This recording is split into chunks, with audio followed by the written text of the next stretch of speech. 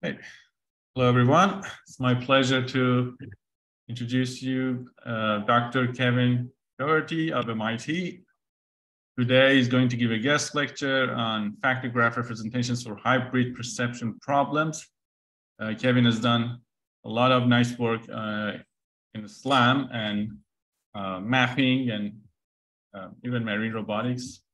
Um, that, that's where you started. I remember your early works, right?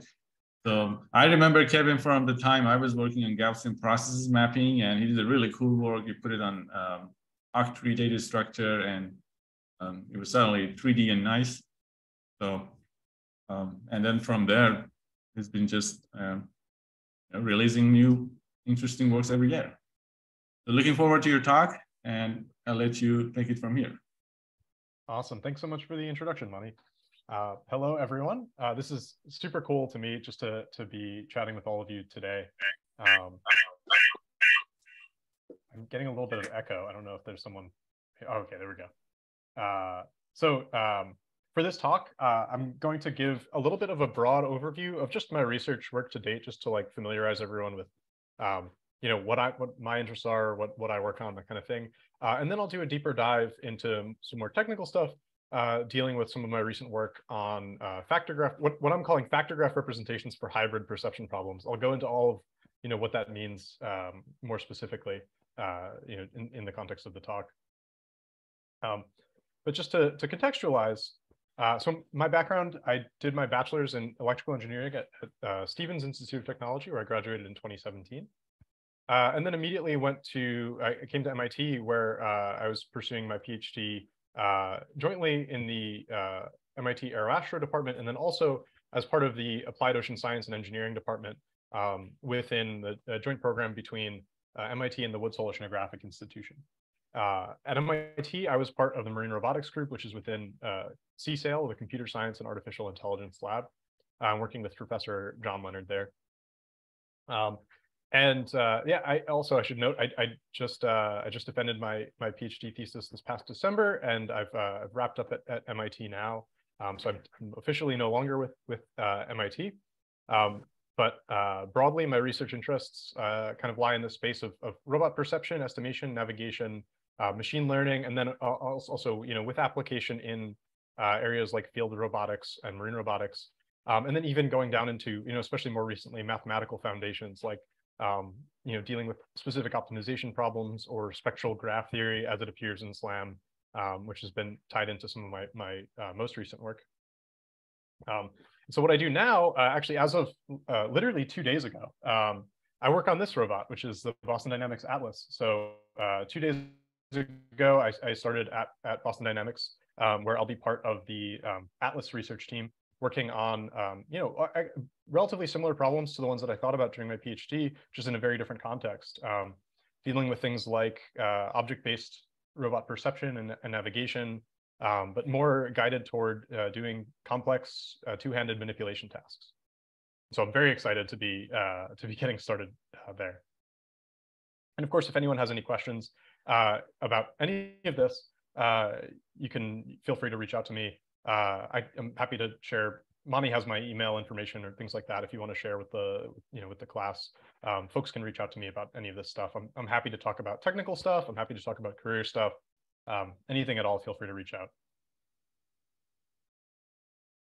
And then to give a little, a little bit more of a grounded uh, sort of overview of some of the research work that I've done, um, while I was an undergrad at Stevens, I worked on uh, real-time predictive mapping for field robots, and this is some of the work that, that Maani was talking about, um, where we were really trying to deal with um, two really two sorts of problems. First is in the marine setting, when we have uh, something like a sonar sensor where the data is particularly sparse and very noisy, uh, how do we build a coherent and, and ultimately useful uh, occupancy map from that you know, often tremendously noisy uh, data?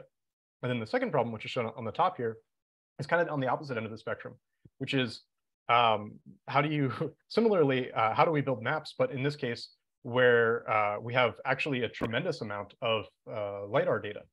And in this case, the, the, the, question really is, you know, how do you ensure that you can update your map quickly uh, as you're getting large quantities of data very quickly? Um, so this is like two ends of very opposite ends of the, the sort of data spectrum. if you will, for, for these sorts of robots.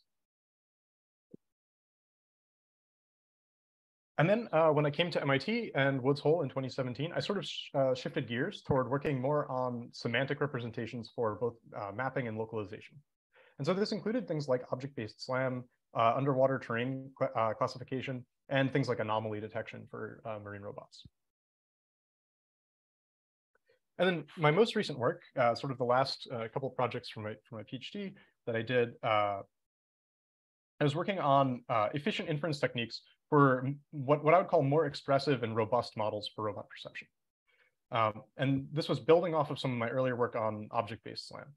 And this includes generally problems like uh, combining learning-based perception methods like object detectors, right, with traditional geometric state estimation in the context of, of uh, navigation. This also includes things like how to mitigate outliers, and then uh, in, in maybe the most general case, how to deal with uh, discrete states of interest like contact. Uh, and then on the fundamental side, uh, or maybe what we might call like mathematical foundation side of things, uh, I've done a, a whole bunch of, of, recent work on convex optimization techniques and spectral graph theory as they sort of connect to the estimation problems that appear in uh, SLAM and in robot perception more broadly. Um, for example, to, to establish formal performance guarantees on the quality of the estimates that we can provide in the context of SLAM.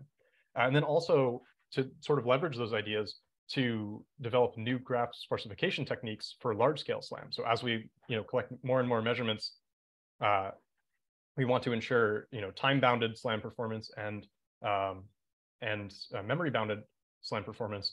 Uh, we need to get rid of some data somehow. And, and so how can we maybe inform uh, a method that picks and chooses which measurements to keep around? And then in terms of like long-term research goals, uh, maybe to, to give sort of just a picture of you know who I am as a researcher, I guess. I'm particularly interested in the perceptual algorithms and representations that we need to give real robots the ability to operate robustly over extended time horizons without human intervention. And so the reason the reasons why I, I care about this in particular, and again, this is not you know uh, an exhaustive list, but but three areas that, that I care particularly about are scientific exploration and monitoring, infrastructure inspection and maintenance, and things like sustainable food and agriculture. And I think in order to achieve some of the really important, or I would say some of the most important objectives in these spaces, we really need to be able to go beyond the small spatial and temporal operating scales, mapped environments, and frequent human intervention that sort of characterize the current state of the art in, in real robot deployments. And so that's a little bit about kind of my interests and like who I am. And like I said, if you're interested in any, any of this stuff, you know, feel free to reach out. Um, but specifically in the context of this talk, uh, I'm only going to discuss really one, one and a half uh, major projects, uh, which is dealing with inference and hybrid graphical models and connects some of the work that I've done on uh, robust perception and uh, semantic mapping. And this work was done in collaboration with some of my lab mates at MIT, David Baxter, Eddie Schneeweiss, uh, Ziqi Lu, Kurran Singh, and then of course my advisor when I was at MIT, John Leonard.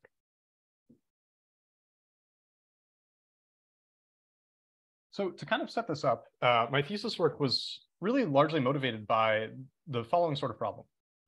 Uh, so let's suppose we have a, a, robot that's just tasked with exploring a previously unmapped environment. And this could be something like a coral reef, like I have pictured here. And so in order to navigate, our robot needs to know, first of all, where is it in space relative to this environment, right? And then where is, where is all the stuff in the environment, of course. Um, and finally, it might be important for a robot to some to have some idea about what everything in its environment is, right? So maybe a robot needs to be able to identify different species of coral or different objects of interest in its environment. And it's easy to see how this sort of general problem setting could be adapted to more specific problems, right? Um, naturally, this captures applications in things like environmental monitoring, or maybe we want to assess the health of reefs, things like mine countermeasures, where we want to detect and localize mines, uh, infrastructure inspection, like in the case of aquaculture, where maybe we want to uh, detect specific changes or degradation. And this, of course, also shows up in important terrestrial applications like autonomous driving. A lot of us are, you know, probably familiar with, with these types of, of applications at this point, uh, where, you know, our autonomous cars need to be able to keep track of buildings and other cars and pedestrians in order to uh, get from A to B. And then uh, also in the case of something like a household robot, where we might want our robot to perform object-centric tasks like washing the dishes, right? In order to wash the dishes, our robot needs to be able to like find the dishes in the first place. And mathematically, uh, we can formulate this problem as a particular type of uh, simultaneous localization and mapping or, or SLAM problem.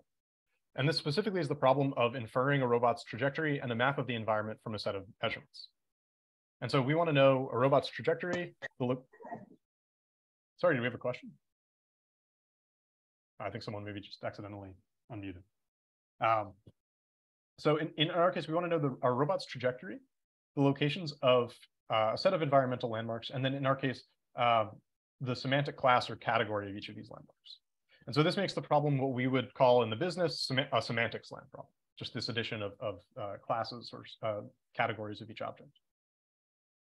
And of course, because all of the measurements that our robots can make about these sorts of quantities are noisy, so maybe you know this could include things like camera images, inertial measurements obtained from accelerometers or gyroscopes, um, you know, whatever your robot happens to have access to, we specifically formulate this problem as one of Bayesian inference. And so given all these noisy measurements, we want to find the most probable set of robot states uh, and the most probable map. Okay, so what actually makes this difficult? And I, I, think that there are two things that I'm going to uh, focus on in, in this particular talk. But obviously, you know, there are many challenges uh, broadly to, to doing all kinds of uh, navigation. But the, the two that I'm going to be interested in in the context of this talk are first, incorporating semantics in the context of uh, uh, geometric, traditional, what I'll call traditional geometric estimation in SLAM. And this is tricky because predictions from learning-based models that we use to obtain semantic information, like object detectors, uh, can be unreliable in practice. And this is especially true when these models are deployed in settings that don't really match the training data that uh, they, ha they um, have available to them. And so here uh, on the right, we can see, you know, one at the time state-of-the-art model uh, giving erratic predictions in what I think is a very reasonable situation. Um, so here, this is YOLO from uh, a few years ago. I think this was like three years ago now. Probably a, a new state-of-the-art model would, would do much better. Um, but here it's, you know, this is just an off-the-shelf YOLO model uh, running on, on data from an iPhone um, and giving, I think, uh, pretty pretty wild predictions. You know, it, it, predicts that the sofa is, is also a mouse. Um, it predicts that that a guitar is a, a person and so on and so forth. And I think what's interesting about this is that this isn't really an adversarial environment at all, right? This is just my old apartment. Um, so it seems like if we want to use these sorts of predictions from learned models in the context of navigation, we need to somehow reason about uncertainty, uh, however it's going to appear in these models. And this leads to the next important challenge, which is once something goes wrong, how do we deal with it, right? Uh, how do we deal with outliers or incorrect data association that might arise from these sorts of errors?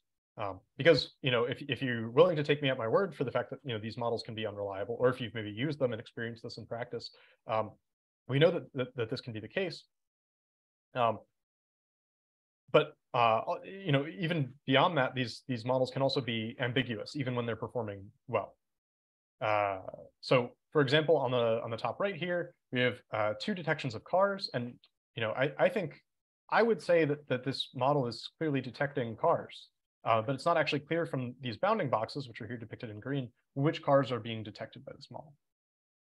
And so, in this case, uh, data association, which is this establishing the correspondence between measurements that our robot makes and landmarks in the environment is uh, challenging. And of course, if we want to use these techniques for a navigation system, uh, if, if our robot is, is uh, trying to use cues like objects in the environment to detect whether or not it's in the same place that it's been in, in before, this can lead to catastrophic failures. And this is what we see exactly uh, appearing on the bottom right. Um, and here we have uh, just a sort of sample example of a, uh, a, a, robot's trajectory uh, depicted in, in green here, and a map, uh, which is uh, depicted in, in gray. And as we uh, add outlier measurements, which are these red lines, uh, what you can see is that there's significant distortion in the quality of the map that the robot is able to produce. And of course, if we want our robots to be able to determine things like outliers or, or data associations, um, this requires solving a discrete estimation problem. And so this is, this is kind of important because both dealing with semantics and this problem of outlier rejection or, or, data association involve reasoning about these sort of discrete sources of uncertainty or discrete sources of, of ambiguity.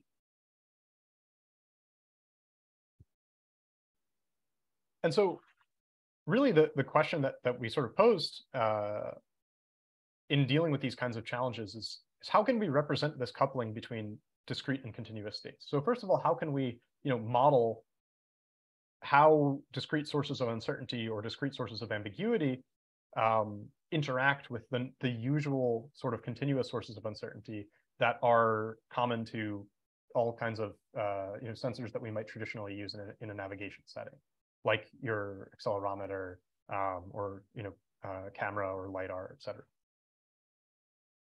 And so we'd like to we'd like to first of all be able to represent this this sort of uh, coupling, um, and then ultimately uh, as I kind of alluded to before, find the most probable assignment to the uh, unknown states that we're interested in.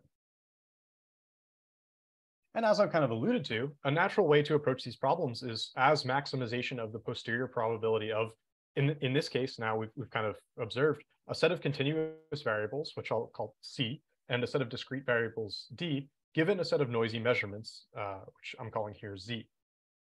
Uh, and I've already kind of uh, posed the semantic slam problem within this framework in a way uh, where we have continuous states corresponding to our robot's trajectory and our landmark locations and discrete states that correspond to um, the uh, semantic classes of, of, landmarks. But also outlier rejection fits into this framework where we have continuous states uh, corresponding to our robot's trajectory and discrete states indicating inlier outlier decisions about measurements, as well as problems that involve um, discrete contact states like gait estimation. And uh, throughout the talk, I'll also, also uh, this will be useful to know. Um, I'll use the color red to depict um, discrete states of interest and the color blue to depict continuous states of interest. So whenever there's an unknown state, like say a robot's pose, that would be a continuous state of interest, which would be in blue, and then a decision variable, like whether or not a measurement is an inlier or outlier, uh, would be depicted in red, and you'll you'll see that. And I'll call that out as it sort of um, appears as well, so that's clear. Okay. Uh, so given this sort of uh, formulation of, you know, we want to maximize the, the posterior probability of these continuous and, and discrete states given measurements, uh, how do we actually go about modeling that posterior distribution? Well, it turns out that a lot of these problems actually admit very elegant and concise descriptions in terms of hybrid factor graphs. And factor graphs, which I think maybe you've covered in, in class already, are uh, simply probabilistic graphical models that provide us with a flexible approach for constructing complex joint distributions from simpler components.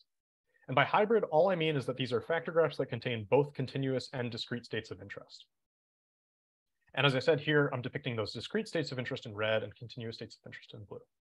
And the measurements that our robot can make, uh, or constraints, even uh, sort of um, uh, modeled constraints between variables, uh, are depicted as these factors in black. And uh, so, for example, this this sort of first uh, first case here on the top uh, is an example of what we might call a, switching system, where we're trying to track the motion of continuous motion of um, a pedestrian in an image, say, uh, subject to some discrete decisions that they might make about whether to go left or right. This is maybe a little bit of a contrived example. Uh, but on the bottom, we have actually, you know, a very much more realistic uh, example of something that you might see in practice, where we're trying to estimate the trajectory of a robot given by the, these um, continuous variables corresponding to the, the robot's pose at different uh, points in time, linked maybe by some odometry measurements that the, the robot has access to. And our robot also makes these loop closures, but we might not trust that those loop closures are reliable. And so we introduce discrete variables that control whether or not we're going to treat um, those uh, measurements as inliers and keep them and use them for state estimation, or you know, effectively discard them as, uh, as outliers. And ultimately, we'd like to perform joint uh, inference of all of these quantities in the factor graph simultaneously. And so unfortunately, even though uh, hybrid factor graphs give us this fairly expressive way of, of writing down some of these problems, the sort of common off-the-shelf tools that are used for solving continuous optimization problems defined in terms of factor graphs, like you might see uh, GTSAM or G2O or, or Ceres, um, uh, haven't previously enabled solving these sorts of hybrid problems, at least not directly. Um, and so as a practitioner, you might be able to use an existing technique for a specific problem. So maybe you're dealing with uh, the problem of outlier rejection, for which tons of existing solu uh, solutions are available. Uh, and you can you know, go on GitHub and, and clone a repository, and you know, uh, you're, you're good to go. But if you don't have uh, a problem that fits nicely into the mold of, of some existing technique, you might end up trying to change your problem somehow by, say, transforming discrete states into continuous states just to use existing tools, which is obviously not desirable because now you're actually having to change something about your problem formulation just to use the tools that you have available to you, which seems a little bit backwards. Or in the, in the last case, you end up implementing your own ad hoc tools for a specific task, which is fine in the immediate context, right? Because at the end of the day, you can implement something that, that does what you need it to do. Um, but ultimately, this leaves the next researcher or you know next practitioner to hit the same roadblock. Um, and this is kind of the situation that I found myself in a few years ago. And so to give a little historical context and maybe to demonstrate that this motivation isn't like totally fabricated or contrived, uh, this is a real exchange uh, from the GTSAM uh, users Google group from back in 2020. And uh, I don't have the, the context from the original poster here, but um, the, the original post was asking essentially about whether it's possible to use uh, the tools in GTSAM for factor graphs containing both discrete and continuous variables. And here, Frank Dellaert, who uh, some of you might be familiar with from, from Georgia Tech, uh, who is responsible for this uh, GTSAM uh, library, he's saying, yeah, you can mix any factor types you want using our, our uh, software, but we don't have any optimizers for this. And, and so if you can imagine me as a, a grad student you know, three years ago working on these sorts of um, semantic SLAM problems or object-based SLAM problems, uh, this really got me thinking, like, how can we implement an optimizer using these tools that would be sort of relatively general purpose? Uh, because I, I, was struggling with some of the issues that I mentioned on that previous slide. Um, and so why, why uh, it's interesting to think about why there isn't really uh, good support for these types of models. Uh, and I think that that one of the key reasons, at least, is that uh, it's particularly hard to identify a suitably general candidate for inference in these models. So even if we happen to be able to write down the, the sort of factor graph model for a switching system or for outlier rejection, if we wanted to perform out, uh, exact inference for hybrid models in general, this is almost always computationally hard in the formal sense. And the reason for that computational hardness is simply because uh, the, the number of discrete assignments is going to scale exponentially with the number of discrete states. And in the worst case, we have no choice but to essentially explore that state space. So existing techniques uh, are often either computationally intractable, but maybe they can offer guarantees, for example, by uh, trying to explore this, this entire space, um, or they're forced to simplify somehow. And so, for example, this could be um, by pruning the hypothesis space in some way. And actually the method that um, that uh, Frank is, is alluding to on uh, his post, the MH-iSAM2 method, uh, which is very cool work by uh, Michael Kaess's group, uh, does uh, essentially exactly that. It, it, attempts to prune this discrete hypothesis space.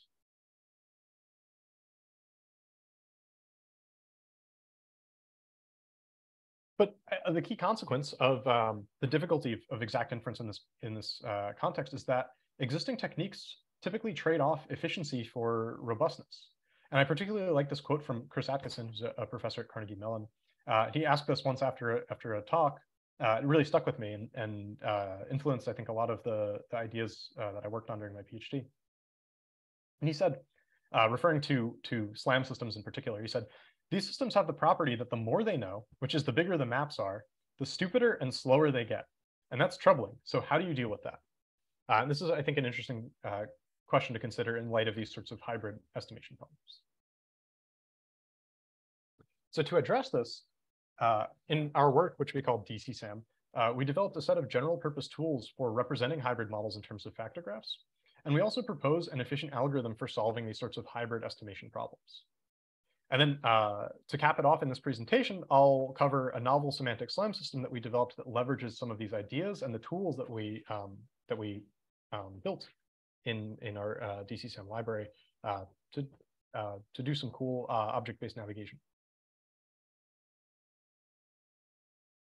So in, in particular, this uh, DCSAM library, which stands for Discrete Continuous Smoothing and Mapping, is written in C++, and it extends the GTSAM library to the setting of hybrid factor graphs. It also incorporates, as sort of a default optimization technique, our uh, op the optimization method that we that we developed that I'll, I'll um, talk in, in detail about here. The library that we developed, uh, and I think this is also important, um, is easily extensible. So you can easily model new problems, uh, you know, not necessarily semantic SLAM, for example, um, or build new hybrid optimization methods uh, using a unified underlying representation. So even if you didn't want to use our optimizer, like say you wanted to develop your own optimizer, um, you can write a different optimization technique that ingests as, as input the same factor graph that another method uh, takes as input. And this is really cool because it actually allows you to compare, for example, how different optimizers would perform on the exact same problem in a way that wasn't really possible um, before without right. Well, I shouldn't I shouldn't say it wasn't possible, but rather wasn't really convenient.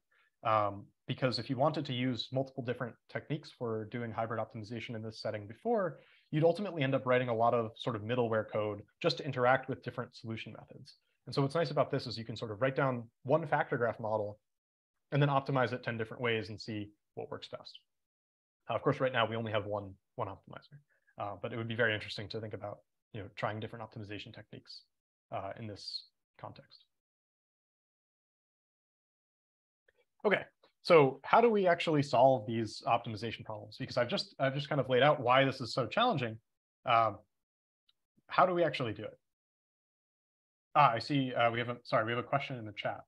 Um, what does stupider for a large map imply? Is it like large error gain, or it stops using history after a certain point? Um, let me think about that. Um, I think uh, oh, so. So maybe to to to backtrack. Um, let's see. Ah, stupider. Yeah. Okay. Sorry, I did think about that for a second. Um, so what Chris is saying here, when when he says the stupider and slower they get, um, what he means is that uh, the um, these the performance of these methods is is uh, getting worse as these maps scale. Um, meaning you're more likely to see, for example, a um, an error small or large in your map um, for uh, the bigger the map is. And by bigger, the, we're really using bigger the, the, the bigger the map as a, as a, a proxy for um, longer duration operation typically. Um, so it, it is uh, essentially exactly like you said. Um, you'll see larger errors, um, both larger accumulated errors or a higher likelihood of, of dramatic errors uh, as the maps become larger, as the duration of operation becomes longer. Maybe that answers the question. Kevin, related yes. to that stupidity question, um, uh, can we also say that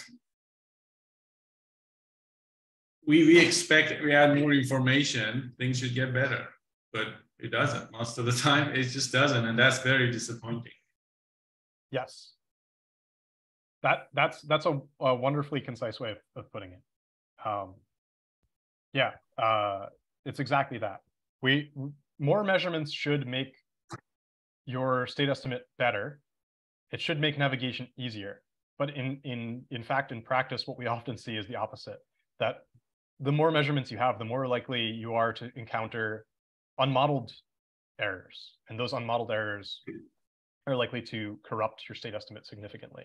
Um, so as our robots navigate longer, collect more measurements, this is this is troublesome. And we'd like it to be the opposite, right? We'd, we'd like to get to a point where where we can fully realize the benefits of, of having more measurements. And, and one more question here. Our, I mean, there's a historical reason for it, but I remember a time that everybody in SLAM and estimation, they, they, they had to implement their own solver. They refused to use any off-the-shelf um, optimizer Whereas in, in let's say control community, it was all about using an off-the-shelf solver. You, you had to just formulate your problem. Uh, do you think you know it's time to port our SLAM libraries as an option to professional solvers? What do you mean by professional solvers? You know, a lot of people, for example, work on um, um, control multi-agent system, they might use Gurobi or some Oh. solvers that, you know, it's a mixed integer program. You just program it and you're done. Or it's a convex Yeah. program, you're done. They lack a lot of the solvers that we want. For example, the one you developed, Mm. but we Yeah. still we're very disconnected from those libraries. I think that there's there's maybe two things to say there.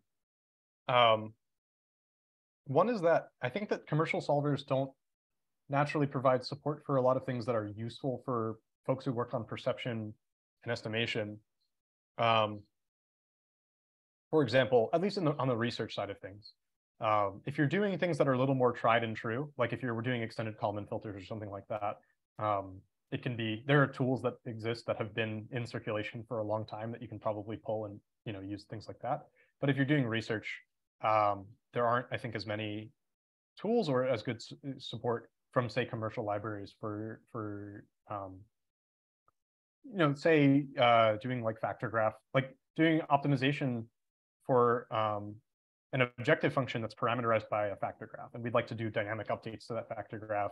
We'd like to do incremental inference. All of the things that sort of pop up in in a context which I guess you might consider relatively niche in the grand scheme of things. Like, you know, we want real-time online performance out of our state estimators often, and that's maybe a requirement that's not always true of other um, of other domains. Controls, I think, is is a good example of of a domain where um, it's it's clear that that those problems are important enough that it, it was worth a dedicated effort to to develop really good commercial tools. Maybe Slam will get there. I don't know. I, it's hard for me to, to to say. I mean, it's clear that, that these types of problems are important, right? Um, the the second thing that that I would say um, is that for for the case of factor graph, for the case of, of factor graph specifically, I think that there's there's definitely an interesting trade-off between using an existing tool for um, you know being able to write down your factor graph in a in a relatively general way um, and then just you know solve it versus I want something more performant and so I'm going to develop specialized tooling for the, to solve a particular problem that I that I have. You know maybe if you know working in a company or something like that maybe there's a very specific type of slam problem you have. You don't necessarily need to the entire GTSAM stack or something like that to to or you know the entire power of factor graphs but maybe you can write just a fixed lag smoother. And you don't even need to necessarily reason explicitly in your mind about the fact that there's a, a factor graph under the hood. Um, but you know really there there there is. Uh, i don't know if that makes sense but i guess what i'm saying is um, there's there's a tooling question here which is you know should we use these sort of commercial solvers or, or you know that kind of thing? But but there's also a question of we can still use uh, I, I guess there, there's also a question of, of translating the factor graph as a modeling tool to software, which I think is actually maybe um, you don't necessarily. What I'll say is, I guess you don't necessarily need all of the software tooling to implement all of the different features that factor graphs can afford, um, even though, even if your problem is is nicely parameterized by a factor graph. So long as say you, you know you have a, a particularly you know maybe like a specialized like a particular problem of interest. Um, so it may be worth it, like in the context of DC DCSAM, maybe this is this will this will ground my response uh, better. Like it's not necessarily important that you use. I'm not. I'm not, for example, concerned if people use our library DCSAM. I think that the important insight um, and the insight of our technical approach that, that I'm going to go into is to write down the, the problem clearly in terms of a factor graph model, and then you can go from there. You can see if there's any sort of special structure that you can leverage when it comes to implementing the software or the you know the underlying algorithms to to solve that problem. So at the end of the day, it's like write down the model and then figure out all the the, the software stuff.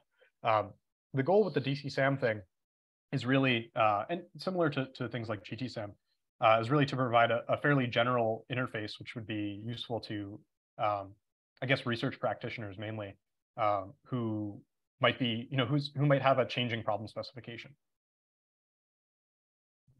Thank you. No problem. That was a great question. All right. Um, so okay, so I've kind of laid out, you know, that this this is a hard problem, right? Um, so how do we actually solve this?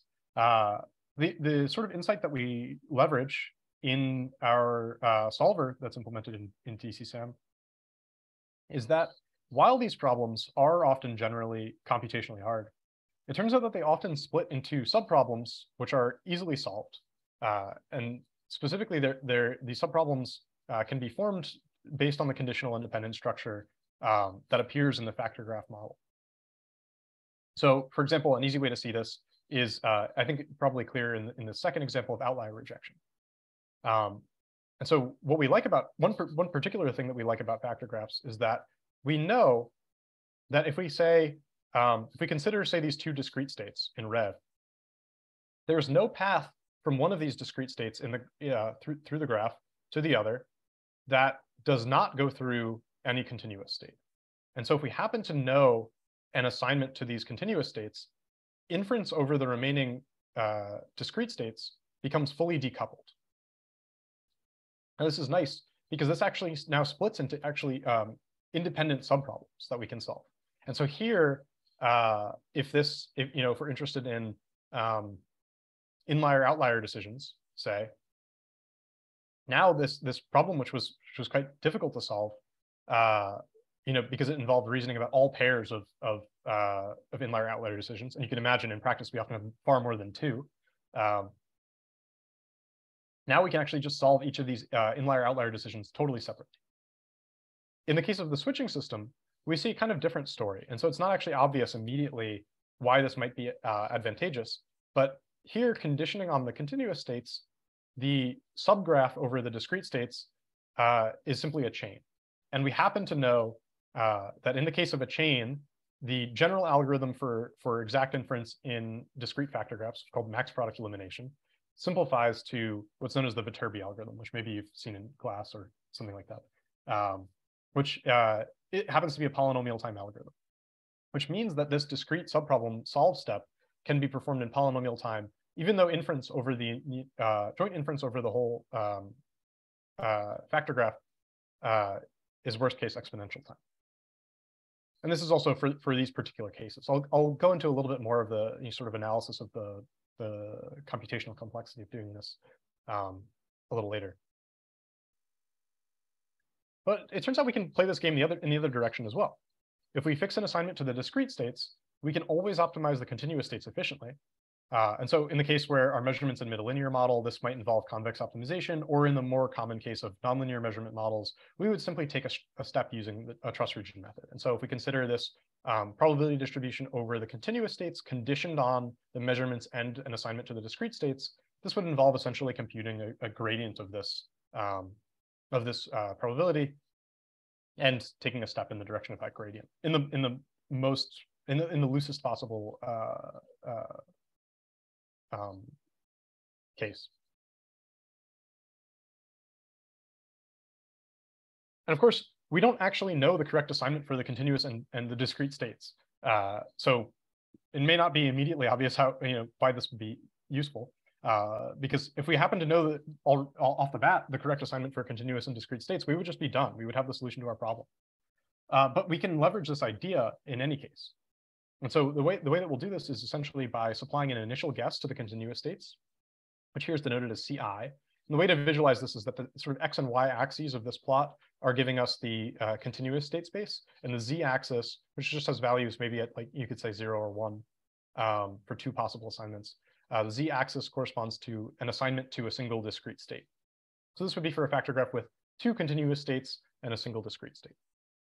And what I'm plotting here is just uh, the value of the joint probability uh, where darker blue is higher probability and, and uh, going all the way to red for uh, low probability. So here, if we supply an initial guess, which is now uh, and sort of just an XY coordinate uh, given by CI, what we're going to do is, is solve for the optimal assignment to the discrete variables conditioned on this estimate for the continuous variables.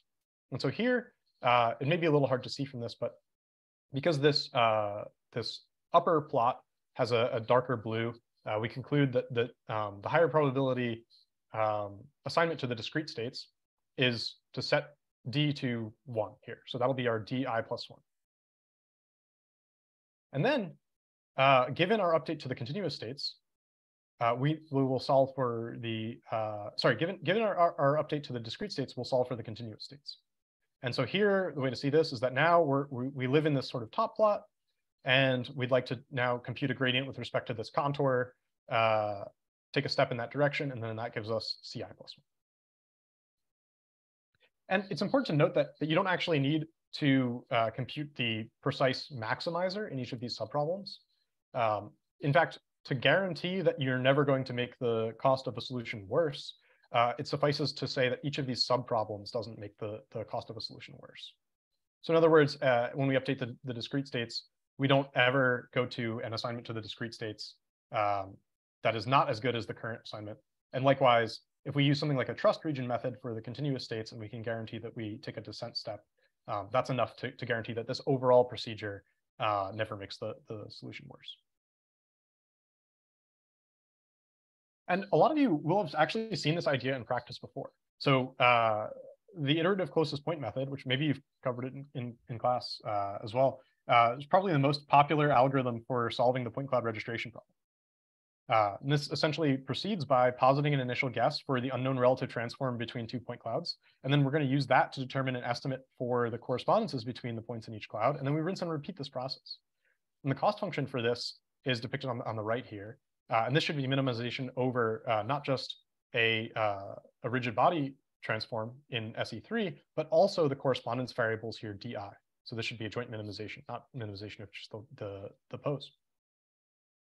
Now, it turns out that if you encode, if you, simply you know, write out the, the graphical structure of this objective function, you get a factor graph that looks like this, where the discrete states are those decision variables in red, the, the correspondence decisions, and this single continuous variable is the rigid body transform from one cloud to the other. And then each measurement, which is each term in this summation, uh, is one of these factors.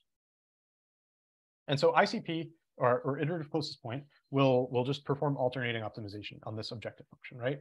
Um, but this is also exactly the algorithm that uh, DCSAM employs. And so if we, it turns out that if we uh, if we program up this uh, factor graph using DCSAM, and then hit optimize, what we get are exactly the results that ICP would give, because mathematically this is this is equivalent to uh, running an iterative closest point in this case. And so these are actually results from running effectively ICP by way of, of DCSAM uh, on the top. And this is the Stanford Dragon data set. And here I'm just showing five iterations of optimization, where in between each iteration, uh, we're doing a continuous step and a discrete step.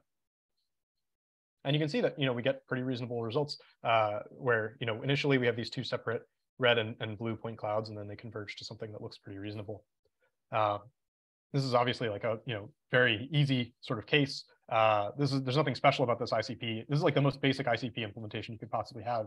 Um, but it, it, I think, gives a, a different view on, on the, the sort of optimization technique itself, which is that you can kind of think about this loosely as a, a, a generalization of the idea behind um, ICP to arbitrary factor graph topologies. So all you have to do as a practitioner is encode this factor graph, and then you can hit solve, and you're effectively getting you know, the behavior that, that um, we would get out of something like ICP.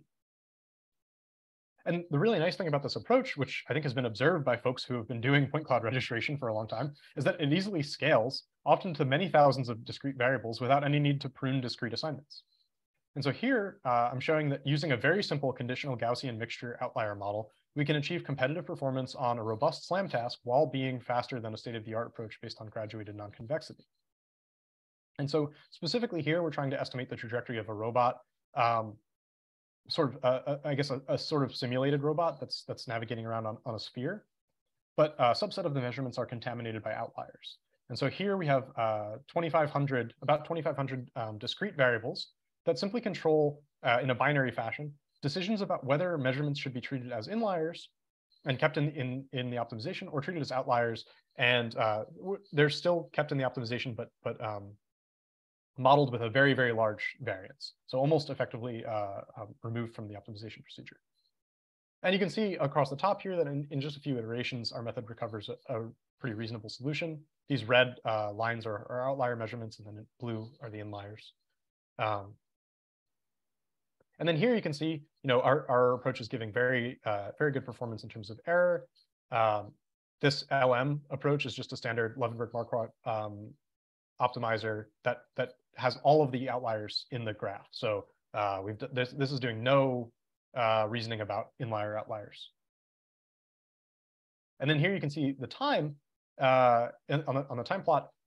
what you find is that our method in, in, in red here uh, is about as fast as, as just the vanilla sort of continuous optimization technique that doesn't reason at all about outliers, but ours is also uh, you know, keeping track of these inlier outlier decisions. And part of the reason for this is that um, by making good decisions about measurements that are inliers and outliers during the course of navigation, um, the sort of overall cost landscape seems to be a little less chaotic than when you have tons and tons of outliers in the optimization process. Okay, so I mentioned I would come back to this. Um, when is our solver uh, actually efficient? Because I said some, you know, I, I made all these claims about sort of uh, computational complexity of different parts of this problem. How does that maybe generalize? Uh, so specifically, our solver, as as it is currently implemented, is efficient when conditioning on continuous variables creates small or sparsely connected sets of discrete variables. Because really, as I kind of uh, mentioned before, it's this discrete subgraph that's contributing to the computational complexity of this problem. If the discrete subgraph is densely connected, global inference is just going to be hard. Uh, so if you had, say, like a single variable, uh, single factor that's connected to all of your discrete variables, and you had a whole bunch of discrete variables, um, then in that sort of factor graph topology, uh, it's it's going to be quite hard to find. Uh, um, even I should say, in that sort of factor graph topology, even the discrete subproblem optimization step will be hard. Um, however, uh, there's there's sort of a, a a way that we can we can get around this, which is that in the current implementation, we're uh, solving for the optimal discrete assignments conditioned on uh, a, a, uh, set of continuous states. But we don't need to do that. We can apply local optimization, just like how we take gradients uh, with respect to continuous variables when, we, when we're doing uh, local optimization. We can apply similar techniques like coordinate ascent or, or descent to the, the discrete subproblem. And as I said, all we need is improvement in the subproblems to guarantee uh, improvement in the joint assignment, or at least that we don't make uh, solutions worse, I should say. Uh, and then that leads to another interesting question, which is when can this method guarantee good solutions? And we can't. Generally, we can't. Uh, is is uh, sort of the, the answer in a nutshell. And it's it's a simple fact that even in vanilla, what, what I'll call vanilla SLAM, meaning just uh, continuous only SLAM problems, uh, we typically solve these problems using local optimization methods that don't have the ability to make guarantees on their performance, except in some restricted cases, under uh, you know uh, restricted noise models, say, um, and that kind of thing. Um, but in the most general case, uh, we we don't have those sorts of guarantees, and and of course because our uh, our approach is uh, has vanilla slam as a special case, we you know we can't do any better than that. Um, and so the takeaway really is that in order for our approach to succeed, we, we crucially need a good initial guess, just like uh, when we're solving um, you know, vanilla SLAM problems. Uh, of course, in these types of hybrid estimation problems, it may be the case that it's a lot harder to supply a good initial guess, right? And so in the future, I think some interesting things to consider uh, might be, for example, blending the sort of local optimization procedure that we developed with globalization approaches, like search or like uh, different annealing procedures and things like that uh, to try to either mitigate sensitivity to the initial guess or at least to explore the, the sort of uh, landscape of, of possible solutions better than supplying a single initial guess. And then uh, I think uh, I'll, I'll, mention um, just briefly for folks who might be interested, um, why or where would I use DCSAM in, in my own research? If you're, you know, a practitioner who's who's interested in maybe trying out DCSAM or something like that, um, why might you use this? I think uh, from the solver side, DCSAM is cool uh, because it allows for efficient in incremental inference. And I haven't mentioned this, but I'll talk a little bit more about this actually in the in the back half of the talk. Um, partly the, the reason that, that we're able to achieve efficient incremental inference is because uh, by separating these problems, we're able to leverage all existing tooling for uh, solving continuous estimation subproblems. So you may have heard of things like ISAM or ISAM2. Uh, we, we can just simply use those tools for solving continuous estimation subproblem. Uh, allows you to easily implement backends for things like semantic mapping, localization, SLAM, robust SLAM, uh, all that good stuff. Uh, I think it'd be interesting to do things like combine uh, learned category level factors like shape priors with geometric information in a streamlined manner. You could do all kinds of cool stuff like this just using our solver uh, uh, off the bat. But I think more generally, if you're interested in our library, uh, DCSAM provides a natural framework to implement new sort of hybrid optimization tools. They're not necessarily in SLAM or perception. So these could be uh, Monte Carlo methods like um, uh, Monte Carlo tree search or um, simulated annealing or more vanilla tree search like branch and bound type methods. Um, and as I mentioned before, this is cool because it enables side-by-side -side comparison of different hybrid backend optimization techniques um, that all can take in the same input. Um, so I, I want to uh, maybe in the in the interest of time, I'll uh, I'll I'll uh, quickly go through the sort of last bit of the talk, which is um, about how we develop a uh, semantic SLAM approach using these techniques, and then maybe take questions at the end. Okay, so uh, how do we apply this to the case of, of semantic SLAM or object-based SLAM? Um, so in, in the most basic case where we know the correspondence between uh, our measurements, in this case, object detections, and uh, landmarks in the environment, we have a single hypothesis about correspondences uh, for each measurement that our, our robot has made. And then in this case, we just need to estimate the robot's trajectory, the landmark locations, and then the discrete uh, classes of, of each landmark. And just out of the box, you can use DCSAM to, to attack problems like this. But as we saw, assuming data association is uh, correct and, and known when it's not can lead to navigation failures. So uh, this is uh, calling back to you know the first example I showed where you know object detect uh, uh, object detectors might perform erratically, uh, and then what do we do when when outliers pop up in our sort of factor graphs? Okay, we can relax the assumption of known data association by simply adding a discrete association variable to the problem, assuming that we have a reasonable set of candidate landmarks. And in DCSAM, once again, this is easy to do because we can just throw on another discrete state. Uh, we add it to our factor graph, we write a different factor type um, that reasons about this sort of ambiguity, and we're good to go. And given that, we can sort of write down this whole semantic SLAM problem in terms of a hybrid estimation problem uh, where we wanted to find now the most probable set of robot poses, semantic landmarks, which could, in our case, uh, just consider, uh, we, we consider just a position in 3D space and a semantic class from a known set of classes. Uh, and data association variables, these discrete variables indicating correspondences between each measurement and a landmark in the environment. And then in this work, we're going to use odometry measurements between subsequent uh, robot poses and object detections from a stereo camera though the, the approach that I'm going to describe isn't really restricted to this configuration. It's just what we, you know, what we used for this. And the way that this works uh, is that when a new measurement arrives, we simply decide whether it corresponds to a new landmark or a known landmark. And the way that we do this is uh, using a threshold on the measurement likelihood, the probability of this measurement given our map, um, to determine whether this landmark is, is most likely to be new or uh, previously in our map. And if it's new, this is easy. We just add it to our map. We initialize it using the value of the measurement um, and the class measured from an object detector. Uh, and on the other hand, if we determine that uh, our measurement corresponds to one of the known landmarks, there might still be ambiguity as to which of the known landmarks is correct. And so in this case, rather than selecting a single or most likely association, uh, we're going to main, we're going to maintain multiple hypotheses. And finally, we can account for potential false positives within this framework by just allowing for a null hypothesis decision, which just like in the outlier rejection case, this is going to essentially reject the measurement as an outlier. Um, and the way that we model this is just as a Gaussian with large variance. And it turns out that we can play another trick here, which is to actually represent these hypotheses implicitly uh, without the need to explicitly keep track of, of uh, these discrete data association variables.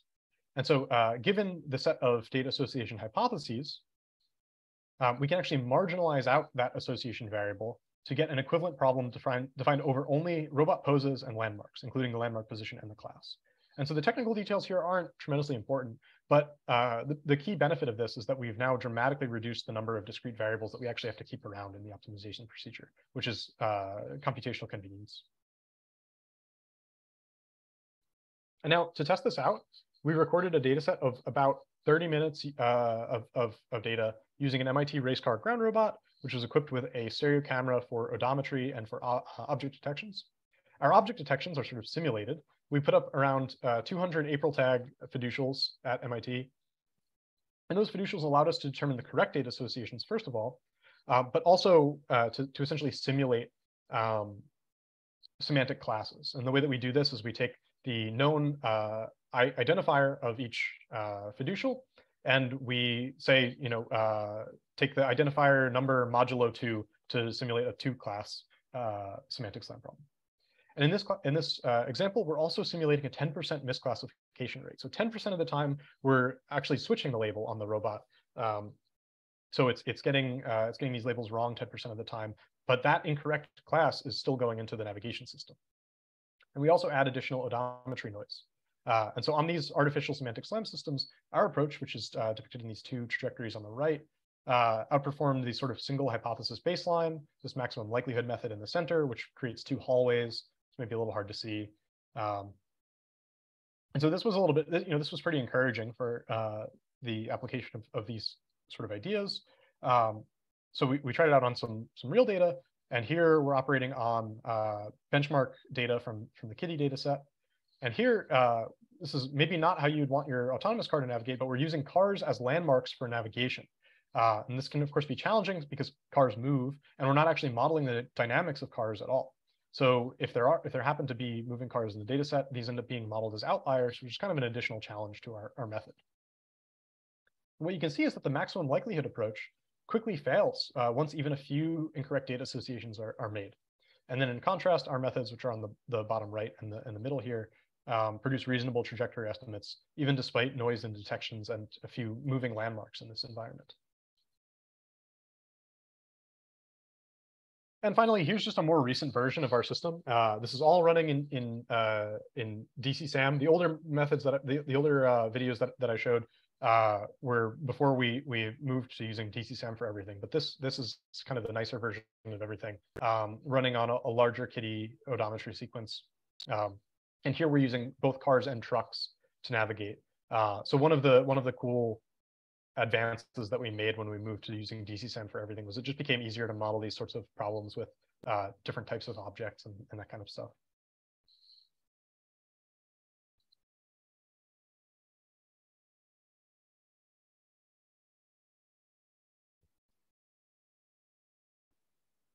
Okay, so uh, just to summarize, uh, in this work, I uh, tried to address the question of essentially how to efficiently represent and solve hybrid estimation problems. And the specific contributions included a general purpose library for modeling and solving these problems, DCSAM. Uh, and in turn, uh, we developed a new semantic SLAM system that leverages some of these ideas. Uh, I didn't go into it uh, today, really, um, but our paper on DCSAM uh, discusses incremental the, the issue of incremental inference that I kind of alluded to earlier, um, but didn't go into detail about. Um, and also approximate marginal computations, which are also provided by our library um, and actually crucial for getting the sort of uh, semantic SLAM system that, that I showed working. Um, and then the overall technical punchline here is uh, essentially that leveraging problem structure that's exposed by factor graph models is really key to achieving efficient inference. Uh, and as I was kind of uh, uh touching on before, this insight is really more about factor graphs than it is about software, right? The software tooling is, is a convenience and, and it's important from a practitioner's perspective. But at the end of the day, the, the key technical insight is that uh, when we actually model these problems using factor graphs, the specific structures that arise in the, the types of practical perception and navigation um, problems that we're interested in are make it advantageous to consider uh, inference techniques like alternating optimization. And I'll speak very briefly about sort of future work kind of stuff and ongoing things. Uh, just some things that, that I think are kind of interesting. I'm happy to comment more about these. These are sort of high level. Um, but I think some, some interesting avenues for future work on these topics would be in developing more expressive hybrid models for perception. So this includes things like richer object models that might combine inference uh, over object's shape as well as the category. So, you know, you might know um, from an object classification, uh, you know, if I know that a particular type of object and then I have some uh, limited information about the geometry of that object, say from a single view, uh, like if I have a partial view of a chair or something like that, but I also have a classification that says that this object is a chair, that can actually inform things like you know, the structure of the object that isn't in view, structure of the parts of the, of the objects that are not in view. Uh, and you can imagine that, that trying to write this down in general is maybe a little bit tricky, but, but if you can start to model the individual components, tools like DCSAM uh, could be useful for for uh, elegantly combining these sort of otherwise disparate sources of information. And the second point is dealing with abstraction and hierarchy. So we've already seen a lot of uh, cool work come out recently on the topic of uh, 3D scene graphs. You can imagine trying to combine these sort of like hybrid factor graph models with scene graph models, um, you know, making decisions like, is this a place? Is this not a place? You could incorporate as sort of discrete states in your in your factor graph.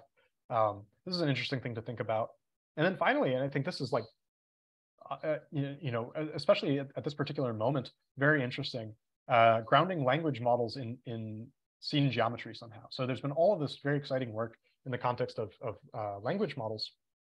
And people are starting to think, it seems, about how we can uh, take advantage of those ideas in the context of uh, perception, mapping, navigation, that kind of thing. Um, it could be interesting to think about how how these sort of hybrid factor graph tools could be used in that context. I don't have very strong ideas or, or opinions in, the, in that space, but it seems like something that's worth thinking about. Excuse me. And then as a last sort of uh, thought, um, this is based on some recent work from, from my lab mate, uh, uh, Ziqi Lu. Here, uh, we're essentially taking some of these ideas about building object-based maps and using them actually for self-supervised uh, learning or semi-supervised learning, you might call it. Um, so in, in this case, uh, we're essentially using a, a an off-the-shelf uh, 6D object pose estimator to build a um, an object level scene map by way of, of robust optimization techniques that do things like reason about outliers, uh, et cetera. And then we feed this object level scene map back uh, into the, the uh, neural network, the 6D object pose estimator, uh, as training essentially. Uh, and so leveraging these, these, um, these object level scene maps, we can generate multi, uh, essentially multi-view consistent, uh, what, what we might call pseudo ground truth labels for robot collected images, and then use this as, as new training data to fine tune the estimator. And we found this to be particularly useful for, for um, taking an off-the-shelf object pose estimator that's trained on you know, not your data, uh, and then fine tuning it for data that you happen to have on hand. And this, of course, can be done nice. Uh, this, is cool because it can be done, you know, you without say a motion capture or without ground truth about the objects. You simply run a SLAM system, right? So all you need is a camera to do this, which is very cool. And so lastly, uh, I'd just like to, you know, acknowledge uh, some of the people who, who made this work possible, uh, including uh, folks who, who worked on, on um, the sort of initial versions of some of this work, and then and then folks who have been working on ongoing uh, versions of this work, including David Baxter, Eddie Schneeweiss, Ziqi Lu, Kurran Singh, uh, uh, Carol Jiahui uh, Fu, um, Qiangqiang Huang, uh, Tonio Teran, David Rosen, and, and, of course John Leonard. And I'll thank our, our sponsors, the Office of Naval Research and, and NSF. And with that, I'll take any questions that folks might have. I think we have a, a good amount of time for, for questions. Thank you, Kevin. The great talk and ideas.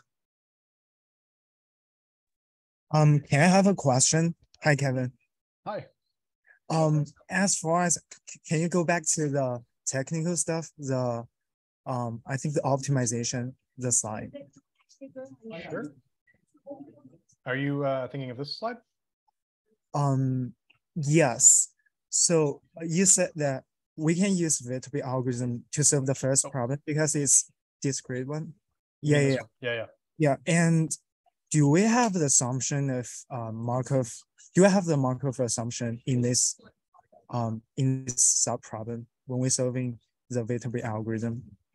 Yeah, so you can see this happening, right? Um, essentially, that, that when when you have a, a so maybe this is subtle. Um, yeah. What we have here uh, this is I, I, think yeah many people maybe haven't been exposed to this but but one way of thinking about this conditional subgraph is that you can think of there just being essentially a factor here a factor here a factor here a factor here i don't know if you can see my mouse um, yeah i can see that and then imagine there's just nothing here there's there are no continuous states anymore but but all of these edges have just been replaced by a single factor and that is exactly what um, a, uh, a, a hidden markov model would look like right is yes. a, a, discrete factor graph with, with a factor on each of these nodes, and then uh, or factor node attached to each of these nodes, and then a factor node linking each of these nodes. And so that's exactly what's going on. Uh, sort of, it, I guess, um, you could think of there being a maybe an implied sort of Markov uh, behavior going on, right? That this yeah. this state here is conditionally independent of this state here on the, uh, this first state, given this intermediary state. Okay, so um, why if there are some dependency of um, previous several steps, can we can we solve that problem, or do we have a solver for that kind of problem? Yes, that's a wonderful question. So, um, so getting back to what I was saying about sort of when our method is efficient, if you have that type of multi, uh, I don't know the, the right way to, maybe non-Markov uh, is the right way to describe it, that type of dependency across multiple states, you can still solve that problem using our method. Our, our method in, uh, uses max product elimination to, to solve this discrete subproblem. Yeah. The caveat being, if this uh, discrete subgraph is complicated, there, we make no promises about when that when you're going to get a solution, right? Uh, so if this is a particularly complicated discrete subgraph, max product elimination is in general an exponential time algorithm. And so if, because we are actually trying to solve for the optimal assignment to discrete states conditioned on continuous states, uh, you may you may be you may be waiting a while for uh, more complicated discrete factor graph topologies. It happens that this was enough for the types of cases that we were interested in. For example, um, semantic slam, outlier rejection, all of these these cases um, break up in a nice enough way that, that we don't have to worry about the fact that we're using technically an exact inference method for discrete optimization here, uh, or for the discrete factor graph subproblem. But if you have a more complicated topology and you're concerned about time, which you probably would be in that case, um, as I as I kind of uh, mentioned, you can swap out max product elimination for a different technique, like coordinate ascent, say, uh, for discrete states, that is more computationally efficient. Okay. Yeah. Thank you, I see. Of course, then you're, you're you might be sacrificing things in terms of performance, but what can you do? Uh, in you know, in the context of some of those problems, they're they're incredibly computationally challenging to solve. So, we have a question in chat. Sure. Uh, not sure if it's for Elon Musk or you, but you can try.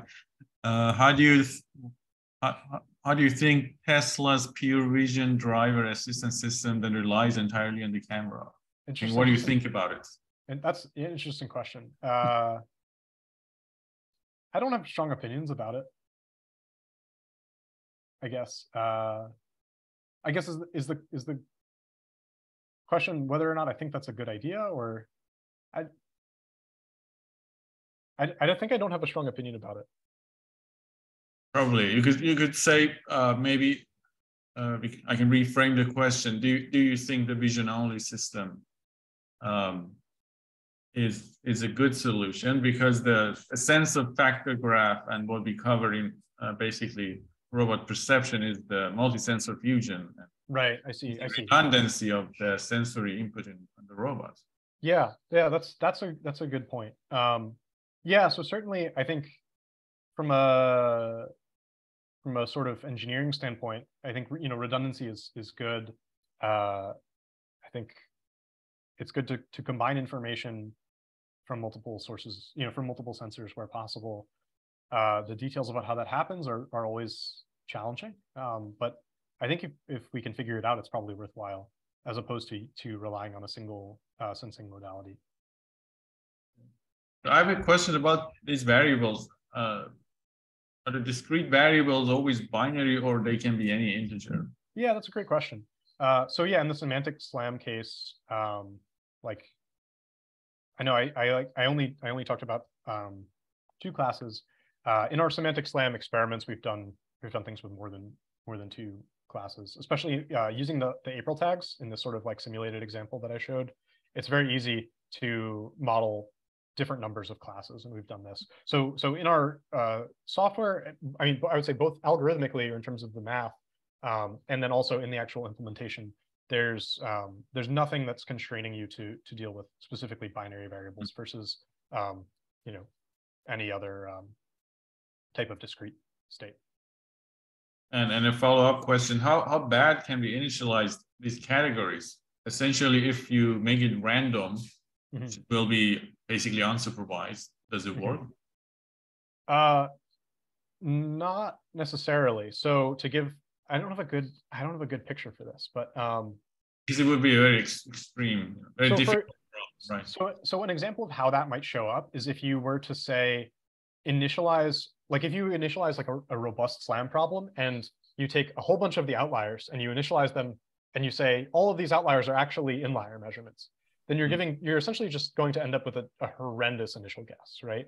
Um, and it seems very likely, like even even in the in the case where you you um, even in I would say like traditional SLAM applications, if you start with a poor initial guess like that, you're not guaranteed to get good solutions. I would imagine that if you did something, if you started with say random discrete variables, in this case, uh, that would be pretty bad. What we usually do is not initialize the discrete states though, because uh, we solve the discrete problem uh, because we're using max product elimination to solve the discrete problem.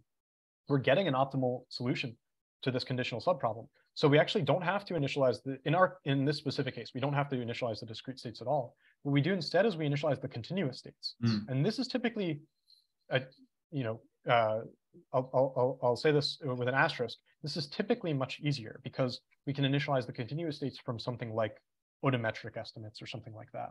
Um, and as long as that initial guess for the continuous states is, is uh, relatively good, we can we can bootstrap this discrete solve process um, and uh, and obtain good solutions.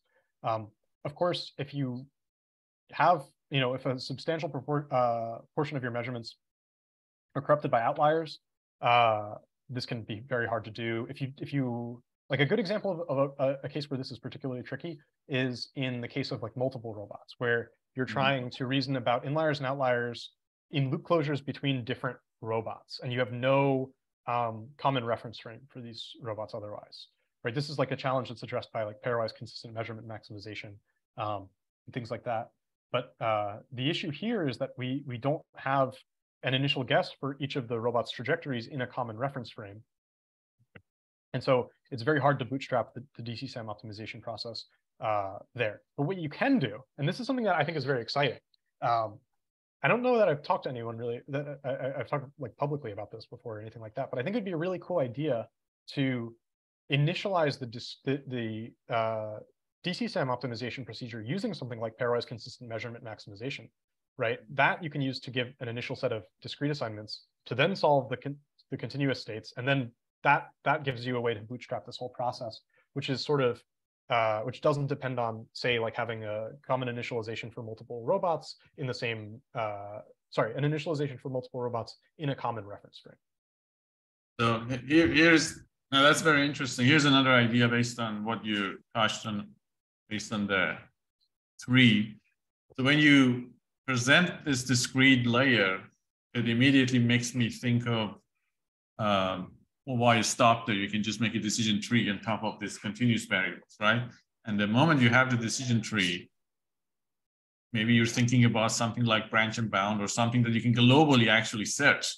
It does not have to be uh, real time. It does not have to be synchronized with the continuous part. But as you move forward, you can um, continue the search for for the you know most promising you know, region solve. So which is, you know, the Go ICP, for example, that's what they do. So I wonder if you thought about that. The problem is you have to give up the efficiency. Usually they're very slow.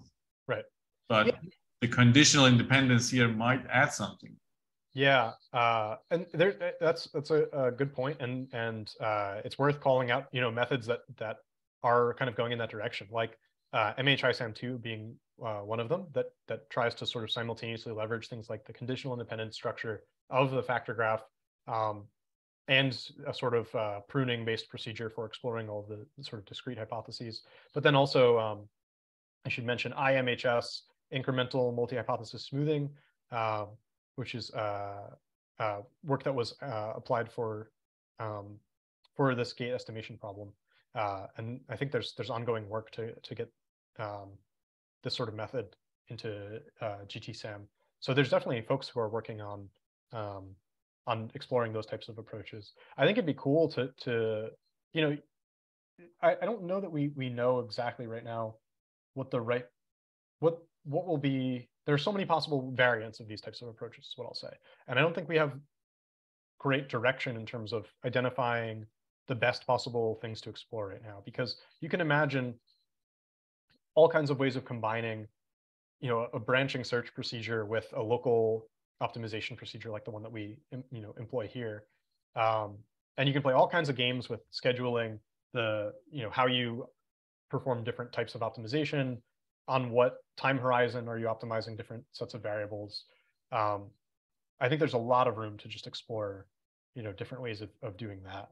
Um, and perhaps it'll be, you know, problem dependent at the end of the day that, that people could find, you know, different variants of these techniques that are specialized to particular tasks. But I think the nice thing, like I said, from, from maybe a, a high level sort of practical perspective is just the availability of tooling uh, to, to encode these sorts of problems, I think is a, is a useful first step in that direction. Yeah, I definitely agree with that. Uh, we have more questions from the audience.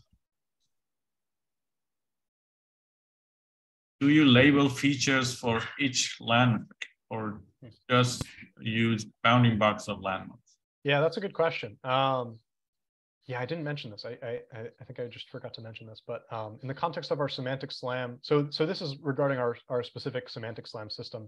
And the way that this works is that our, um, so, so uh, what we end up doing in the system that, that I showed is we uh, get an estimate of the position of, of each landmark, like say a car here, uh, as the, the point, uh, the, the median depth point that falls in, in this uh, bounding box. And the XY position is just given by the, um, the center point of, of, of, the bounding box. So this is a very coarse way of, of, of estimating object locations. Um, we didn't need anything, I think to demonstrate this work, we weren't trying to do anything sort of fancy uh, with this. But in the very beginning of the, of the deck, I kind of showed uh, a sort of illustration that motivates a, a sort of alternative approach, um, which is here which is that we could actually use key points uh, that are annotated with semantic classes. And we haven't tried this, but it's a very cool idea. Um, it would slot very nicely into this sort of framework. There's no different, there would be no, you know, effectively no, um, no change to the overall formulation uh, at a high level, at least.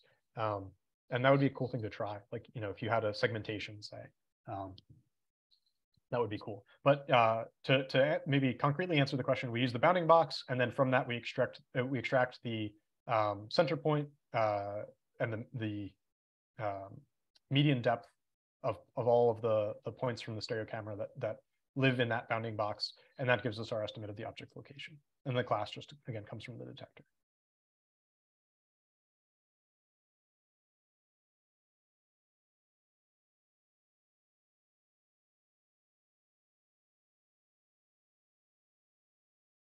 See any more question? Maybe one more if anybody has any questions.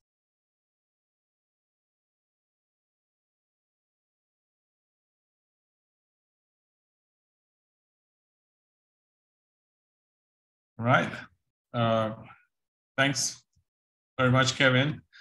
It's great to hear from your work, and we look forward to the next backflip of uh, Boston Dynamics. next time we will have perception, probably, maybe online exception this time. For sure. Yeah. Um, thank you very much. And I'll close the session. Awesome. Thanks so much.